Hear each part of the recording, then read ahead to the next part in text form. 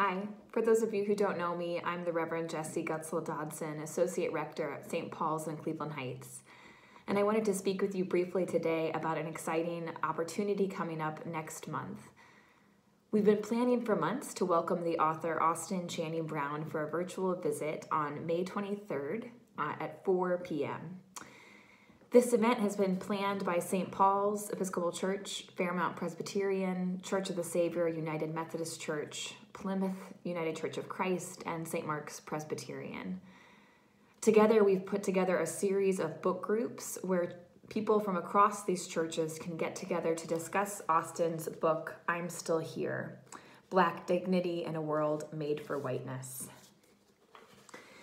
We hope that you will take part in one of these book groups. There will be three sessions that we'll meet. We'll divide people into breakout rooms on Zoom, so you'll be in groups of seven to 10 people.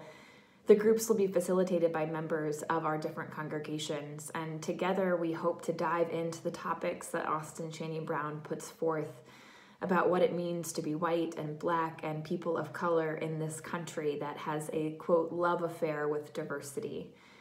There's lots more information on your church's website about how to be part of these events, and we hope that you will join in and be part of this transformative work while we are continuing to build our community across the heights. All right, hope to see you then. Bye bye.